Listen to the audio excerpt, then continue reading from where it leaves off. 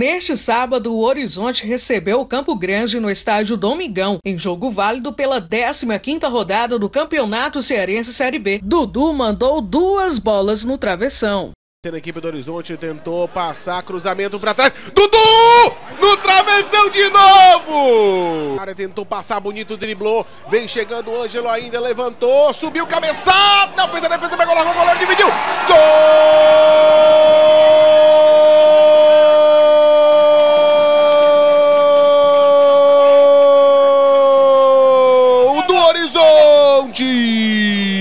Estão escapando. Cruzamento rasteiro dentro da área. Casaco bateu cruzado. Desvio.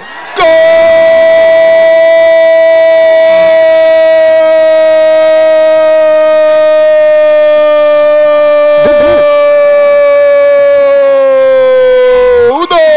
Horizonte!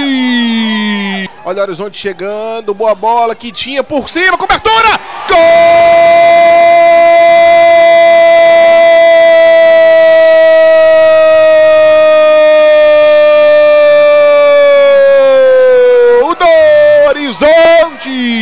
Com resultado positivo, o Galo do Tabuleiro sobe para 38 pontos e mantém a liderança na tabela, enquanto o Campo Grande amarga a décima derrota na competição e segue com apenas 7 pontos.